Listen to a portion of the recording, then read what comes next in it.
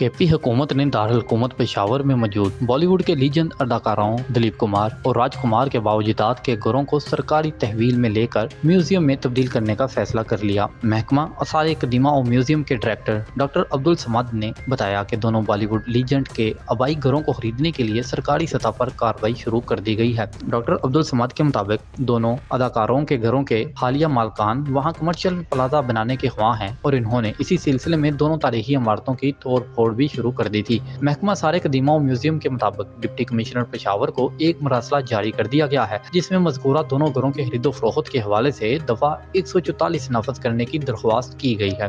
Director महकमा सारे कदीमा ने बताया कि दिलीप कुमार और राजकुमार के भाई घरों के हालिया मालकान की जानब से तोड़ फोड़ शुरू किए जाने के बाद कार्रवाई करके दस अफराद को गिरफ़्तार भी किया जा चुका है और दोनों घरों को खरीदने के लिए ज़रूरी कार्रवाई का आगाज़ भी कर दिया गया है। इनके मुताबिक दिलीप और राजकुमार के घरों को हुकूमत खरीद कर वहाँ तजीन आरइश के बाद दोनों जगहों को म्यूज़ियम में तब्दील करके सियाहत को फरोग देगी। डॉक्टर अब्दुल समद ने बताया कि डिप्टी कमिश्नर पेशावर को दोनों घरों की कीमत भी बताने की हदायत की गई है, ताकि जमन में कोशिश करके घरों को खरीदा जा सके।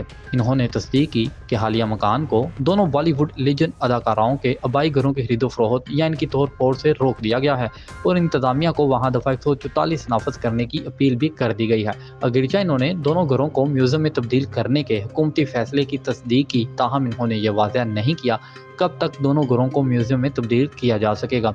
ख्याल रहे कि दिलीप और राजकुमार तकसीम हिंद से कबल मुतहदा हिंदुस्तान में पिशावर में पैदा हुए थे। दिलीप कुमार की पैदाइश पिशावर के हालिया इलाके किस्सा खवानी बाज़ार में 1922 में मुसलमान घराने में हुई थी और इनका असल नाम मोहम्मद यूसुफ है। दिलीप कुमार को उनकी फिल्मी खदमात पर हुकूमत पाकिस्तान निशान इम्तियाज़ से भी नवाज़ चुकी है। इस तरह राजकुमार की पैदाइश पिशावर के हालिया इलाके हवेली दिलगरान में हिंदू खानदान में उन्नीस सौ चौबीस में हुई थी।